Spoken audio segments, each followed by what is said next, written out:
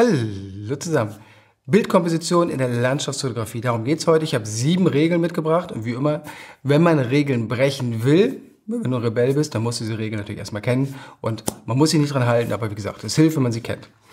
Ich fange an mit der wohl bekanntesten, nämlich dem goldenen Schnitt. Der kommt eigentlich aus der Malerei. Äh, das Hauptmotiv oder das Gesicht einer Person oder sowas wird häufig anhand des goldenen Schnittes platziert. Ich zeige das am Beispiel. Ich habe hier Lightroom offen, unser kleiner Praxistipp noch. Äh, ich zeige das, wenn du Lightroom bist und ähm, R drückst, dann kommst du in den Modus zum Zuschneiden und jetzt drückst du mal O, dann gibt er dir verschiedene Möglichkeiten, wie zum Beispiel Drittelregel und halt eben auch den goldenen Schnitt. Und dann kannst du Shift O drücken und dann kannst du das auch noch drehen, weil natürlich ist der goldene Schnitt, äh, je nachdem was da drin ist, mal oben oder mal unten oder sowas. So, das ist jetzt also das Schloss. Jetzt ist das Schloss halt relativ groß, aber wenn du ein Porträt machst, ist das Gesicht ja auch relativ groß. Also wir reden hier nicht über Millimeter oder sowas oder einzelne Gradabschnitte oder sowas, sondern immer so grob. Also das Hauptmotiv grob, so ein bisschen in die Ecke, aber eben nicht in die Ecke quetschen, sondern genug Abstand noch zum Rand lassen. Ich zeige das mal, wenn ich jetzt zuschneide und was anderes nehmen würde, also zum Beispiel tatsächlich das Schloss mal an den Rand klatschen würde, so vielleicht, dann ist es ja nicht mehr goldener Schnitt und es würde tatsächlich ein bisschen komisch aussehen, oder? Und umgekehrt, wenn ich es in die Mitte packen, ne, und dann halt eben hier, weil hier vorne ist ja eigentlich nichts. Das trägt zur Stimmung bei, aber das, da ist ja keine richtige Information drin. Ich könnte es ja auch so machen. Kann man auch machen, dann ist das Schloss halt einfach natürlich sehr viel größer, weil ich zugeschnitten habe. Aber der wesentliche Punkt ist doch, äh, das andere sah einfach so ein bisschen interessanter aus. Darum geht's. Also goldener Schnitt ist nicht die Drittelregel, das ist der nächste Punkt.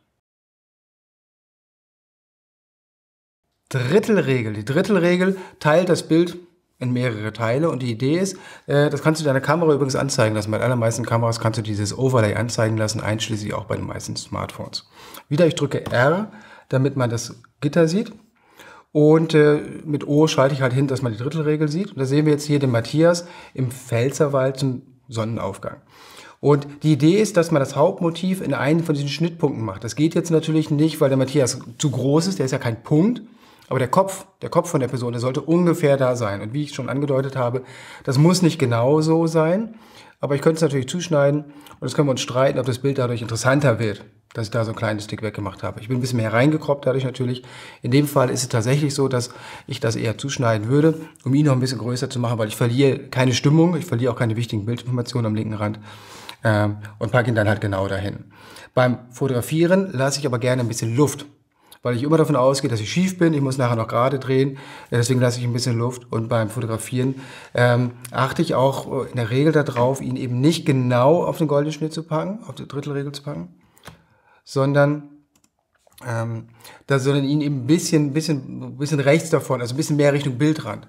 Weil die Folge davon ist, dass wir ein bisschen mehr Bildtiefe haben. Der Matthias schaut noch tiefer ins Land. Und wenn ich danach im Nachhinein sage, am Computer sage, ja, nee, hm, ist ein bisschen zu viel, was er sieht, kann ich das leicht wegschneiden. Aber wenn ich zu eng geschnitten habe, dann geht's irgendwann nicht mehr. Gerade bei solchen Bildern mit der Person, ich kann ja nicht viel wegschneiden, weil wenn ich wirklich viel wegschneide, dann muss ich die Füße abschneiden. Oder ich muss ihn halt tatsächlich, also ich muss entweder sowas machen, dass er die Füße verliert, was doof ist, oder so, dass die Füße noch drauf sind. Aber dann ist über ihm nicht mehr viel Platz. Und das ist eine luftige Szene. Wir stehen da auf, auf dem Berg und gucken runter. Also da will ich natürlich auch ein bisschen Luft in alle Richtungen haben nach Möglichkeit. Dass man sieht, das geht da unten steil runter, aber über ihm muss auch ein bisschen Luft sein. Also dritte Regel, an der Kamera immer anzeigen lassen, ähm, sodass du beim Live-View schon so ein bisschen siehst, ungefähr, wo das Hauptmotiv ist. So als, als Erinnerung, weil man neigt immer ein bisschen dazu, das Hauptmotiv in die Mitte zu packen. Und wie gesagt, das ist nicht falsch, aber häufig langweilig. Nebenbei in Lightroom ähm, wenn du, wenn ich jetzt zuschneide, noch ein Praxistipp, zuschneide, so, ich habe zugeschnitten, wenn ich das wieder rückgängig machen will, dann drücke ich äh, Shift Command R. Shift Command R setzt das Zuschneiden, auch, auch drehen, würde es äh, also wieder zurücksetzen. Die dritte Regel kann man natürlich nicht nur bei Personen anwenden, sondern auch bei reinen Landschaftsfotos. Am Meer ist es immer so ein Thema oder wie dieses Bild, was ich hier zeige. Die Frage ist ja, wo packe ich den Horizont hin? Manchmal hat man so, dass man eins von beiden, also Himmel oder Vordergrund, dass es sehr viel interessanter ist. Das ist hier nicht zwingend so, weil beides schön ist. Und auch dann entscheide ich mich immer ganz grob für die Drittelregel. Also ein Drittel ist Vordergrund und zwei Drittel ist Himmel oder umgekehrt. Nicht den Horizont in die Mitte packen, das kann man machen. Das sieht aber häufig dann eh wieder eher ein bisschen langweilig aus. Und das wäre eine Variante und eine andere Variante ist sowas wie das hier. Bei diesem Bild ist genau das das Problem. Das Interessante ist der Steg, der Himmel ist nicht so interessant. Ohne Zuschnitt ist der Horizont ganz grob in der Bildmitte. Das ist aber jetzt ein typisches Bild, wo ich viel Platz lasse, weil ich vor Ort nicht gut entscheiden kann, wo genau, ich will es sehr symmetrisch haben, wo genau ist denn genau die Mitte von dem Steg. Da vertut man sich ganz schnell. Also lasse ich Luft, damit ich zuschneiden kann und im Nachhinein kann ich jetzt halt dran ziehen. Und dann kann ich mich bewusst entscheiden, dass ich ungefähr so auf ein Drittel gehe halt und dann das eben möglichst mittig platziere. Voilà. Und schon habe ich das Ganze sehr symmetrisch und jetzt halt sehr dominant den Steg, der ist hier vorne sehr, sehr breit. Und der Himmel, weil der keine Struktur, gar nichts hat, der, den braucht es halt auch, aber der ist überhaupt nicht wichtig. Hier noch ein Bild aus der Lüneburger Heide und auch da, das Interessante ist ja so ein bisschen die Gesamtkomposition, die Tiefe, die entsteht. Ich habe hier vorne das Heide, Heidekraut, ich habe da hinten den Nebel, in den, äh, wie ein Waldstück und dann habe ich den Himmel. Und der Himmel hat auch Struktur, der ist ja nicht langweilig, aber der ist nicht das Wichtige. Also ist der auch nicht, nimmt der nicht zwei Drittel ein, auch nicht eine Hälfte des Bildes, sondern ungefähr ein Drittel, ein Drittel, ein Drittel. Daumenregel, nur ungefähr ein Drittel pro Ebene. Führende Linien. Führende Linien werden super viel verwendet. In meinen Fotos ist fast immer eine äh, irgendeine Art von führende Linie, wenn das irgendwie geht. Danach schaue ich. Ich schaue wirklich nach führenden Linien. Ich positioniere mich auch immer führende Linien. Das kann eine Straße sein oder ein Weg, das kann ein Bach sein natürlich. Oder bei diesem Beispiel ist es halt eben die Kante hier mit dem Schnee drauf. Und ähm, in dem Fall ist das Foto von Thomas Jack und ich stehe da, also er fotografiert mich, das ist unser Zelt. Und wir sehen ja diese Kante hier, die führt in einem Bogen zu mir hin. Und wieder, wenn ich R drücke, dann sehe ich, ich bin nicht ganz in der Drittelregel, auch nicht ganz im goldenen Schnitt, aber in der Nähe davon. Also auch der Thomas hat daran gedacht. Und natürlich kann ich das nachher zuschneiden. Ich mache es mal nochmal, goldener Schnitt. Wäre ungefähr so. Und wir sehen schon ein bisschen das Problem im goldenen Schnitt. Es passt halt häufig nicht. Egal wie ich es mache. Wenn ich mich dahin positioniere, ich, dieser vordere, und das ist ja das Interessante. Und die will ich unbedingt haben. Und da oben kriege ich ihn auch nicht hin. Also egal wie ich es drehe und wende, goldener Schnitt passt häufig nicht. Aber zumindest hat man es im Hinterkopf. Drittelregel hingegen, da sind wir relativ nah dran. Also nahe genug, dass es für mich noch gilt und ich würde tatsächlich ein bisschen schneiden. So, vielleicht ein bisschen rüber machen. So. Und das wäre so ein bisschen mein Zuschnitt, den ich gewählt hätte. Dominante führende Linie, die zum Hauptmotiv hinführt. Das ist auch das Hellste. Das Hellste, der Blick geht immer dahin, wo es am hellsten ist. Und alles andere ist so ein bisschen Atmosphäre. Das braucht es. Es braucht da hinten auch ein bisschen die Lichter, dass man sieht, es geht ins Unendliche. Oder da hinten das Licht, was da ist, ist wahrscheinlich eine Berghütte oder eine Bergbahn. Und dadurch habe ich diese Tiefe, Tiefe, Tiefe, Tiefe. Ne? Äh, aber die führende Linie ist das Entscheidende. Anderes Beispiel, führende Linie, wäre zum Beispiel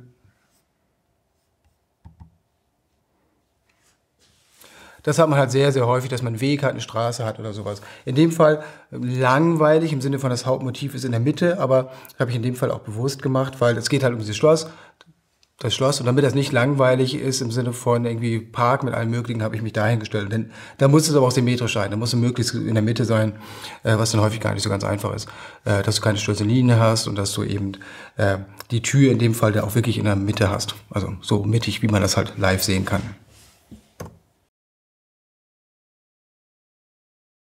Negativer Raum, Negative Space oder auch leerer Raum, freier Raum, sagt man da auch manchmal zu. Die Idee ist, dass ein großer Teil des Bildes einfach leer ist. Das kann Himmel sein, das kann aber auch Meer sein, ganz häufig, oder ein See oder Wüste bietet sich da an. Äh, am Strand kann man das eventuell machen, mit, mit so Dünen oder sowas. Äh, das ist ein großer Teil leer. Das ist Bild eigentlich, das sind ja häufig Bilder, die sehr ruhig sind, meditativ sind. Da ist halt eine Person, die so aufs Meer rausschaut. Oder äh, ich habe hier ein Beispiel, das ist im Harz aufgenommen einfach ein Stein, das ist ein Stausee. Und ich habe den Bildausschnitt bewusst mit einem Tele gemacht. Das ist die Nikon D850 bei 116 mm in dem Fall, also reingezoomt, sodass ich nichts drumherum habe. So ein ganz ruhiges, meditatives Bild, dass man sich vielleicht ins Badezimmer hängen könnte oder sowas. Also ein bisschen guckt man hin und so einmal durchatmen. Negativer Raum. Das kann, wie gesagt, auch bei Personen sein, dass man so ins, ins Nichts guckt. Äh, Mache ich da aber relativ selten, weil ich nicht oft am Meer bin. Aber wenn du häufig am Meer bist, dann wirst du das sicherlich sehr viel benutzen. Einrahmungen. Einrahmung, das kann ein, zwei, drei oder vier Seiten sein.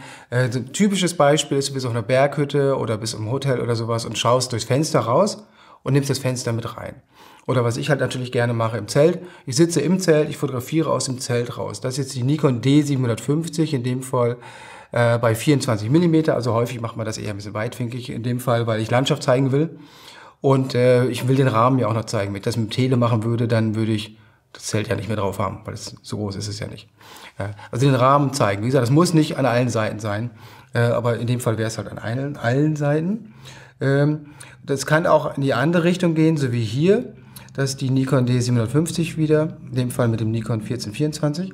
Und da bildet ja im Grunde die Gletschergrotte auch einen Rahmen auf die Landschaft dahinter. Das ist nicht so der Klassiker, aber ich habe hier auf der rechten Seite habe ich eine Wand mit dem Schnee drinne und die gibt dem Ganzen schon mal Tiefe. Ich habe eigentlich mehrere Elemente. Ich stehe da direkt dran, die ist direkt an mir dran. Tiefe, Tiefe, Tiefe bis zu dieser Wand, die sind also ein Stück weg von mir. Dann habe ich die Einrahmung und dahinter dann halt eben die verschneite Winterlandschaft nicht so ganz klassisch die, die Rahmenbildung, aber auf sowas achten, auf so mehrere Elemente, die dann eine Einrahmung bilden für den Haupt, das Hauptmotiv. Eine andere Variante ist das hier, dass man sich an Felsen stellt und man rechts eine, eine Wand hat. Das kann ein Felsen sein, kann ein Baum sein, äh, habe ich häufiger mit Bäumen, oder halt eben hier wie dieser Felsen. Und dahinter dann das Matterhorn. Achtung, ganz wichtig, Proportionen beachten. Ich bin hier mit Weitwinkel unterwegs, 28 Millimeter. Und das heißt, dieser Felsen ist sehr, sehr groß. Das Matterhorn ist über 4000 Meter hoch. Das Matterhorn ist ein echter Berg. Und das Matterhorn sieht jetzt proportional fast ein bisschen klein aus. Das ist nicht zwingend schlimm oder sowas, aber dessen bin ich mir immer sehr bewusst. Wenn jetzt hier eine Person stehen würde, zum Beispiel, wäre die Person halt proportional sehr viel größer als das Matterhorn, was dann eventuell eher eine Gaudi wäre als tatsächlich das, was man haben möchte. Letztes Beispiel noch hier. Da habe ich zwei Bäume genommen. Wir gucken, ähm, gucken auf den Eibsee. Wir gucken auf den Eibsee und die Bäume bilden eine Einrahmung zu dieser kleinen Insel da. Also das hat man sehr, gerade Bäume hat man sehr, sehr häufig, Mauern hat man häufig in der Stadt oder so. Bewusst mit reinnehmen. Kurven. Reden wir mal über Kurven. Und zwar in der Landschaftsfotografie und nicht, wo du gleich wieder dran denkst. Ähm, ich habe dieses Beispiel mitgebracht, das ist das äh, Kehlsteinhaus in Bayern. So, da habe ich jetzt eine führende Linie. Das ist das Erste. Wenn ich Landschaftsfotografie, da gucke ich immer, habe ich hier irgendwo eine führende Linie. Da sehe ich den Weg, ja, Weg führt zur Hütte, das ist gut. Aber wo stelle ich mich denn hin? Eine Linie heißt ja erstmal nur, der führt dahin, das führt daher. Ich hätte hier auch viel weiter links stehen können. Ich hätte auf der Treppe stehen können oder sowas. Sondern was ich versuche ist, den Blick zu lenken, gerne mit Kurven, so ein bisschen so S-Kurve idealerweise. Und das ist ja hier so. Der Weg geht nach rechts und dann geht er wieder nach links und dann habe ich da die Hütte. Also hin und her Kurven. Nicht eine gerade Linie kann auch funktionieren. Aber Kurven sind häufig, gerade in der Landschaftsfotografie sind Kurven häufig interessanter, weil in der Natur ja auch nichts wirklich gerade ist. Architektur schon, aber in der Natur habe ich in der Regel alles ein bisschen krumm und schief, beziehungsweise halt viel Bach, Fluss bildet ja immer so ein bisschen Kurven. Welche Flüsse sind deswegen sehr dankbar. Also hier versuche ich bewusst zu versuchen, ähm, den Weg, den Anfang von dem Weg so ein bisschen an den linken Rand zu packen oder rechten Rand, je nachdem, damit er so ein bisschen quer durchs Bild läuft und dann wieder zurück. Das gleiche hatten wir eben schon mal bei dem Schneebild. Da war das ja auch so, dass der eine Kurve bildete, der Grad eine Kurve und nicht eine gerade Linie. Bewusst so hingestellt, dass ich diese Kurve drin habe. Und dann habe ich noch dieses Foto aus Franken. Da habe ich auch bewusst geguckt, führende Linie und finde ich irgendwo eine S-Kurve, aber in dem Fall klappt das nicht so richtig gut, weil äh, die Burg ist ja oberhalb vom Bach und die führende Linie oder der, die S-Kurve führt ja nicht zum Schloss hin. Trotzdem geht der Blick dadurch ins Bild rein muss dann aber erst noch den Wald überwinden, um bis zum Schloss zu kommen. Also es, da passt es nicht richtig. Und das hat man sehr häufig. Oder zumindest da stehen und gucken, ah, für eine Linie, sehr gut. Äh, Kurven, habe ich irgendwo eine S-Kurve. Um zu wissen, wo genau soll ich mich hin platzieren, versuche ich auch hier, man sieht das ja hier, der Bach ist nicht in der Mitte vom Bild oder sowas, sondern der fängt rechts an, rechts oder links, anfangen lassen Wege und Bäche, dass noch ein bisschen, dass, dass am Anfang zumindest so eine Kurve drin ist, die dann halt nicht zum Schloss richtig hinführt, aber zumindest versucht, soweit es halt irgendwie geht in dieser Position. Also das immer so ein bisschen im Hinterkopf haben, wo platziere ich den Weg oder den Bach oder was auch immer ich da habe, so dass es eine schöne Kurve gibt. Macht es immer interessanter, abwechslungsreicher. Gilt in der Menschenfotografie ja auch. Kurven, ne? Mensch immer in Kurven hinstellen.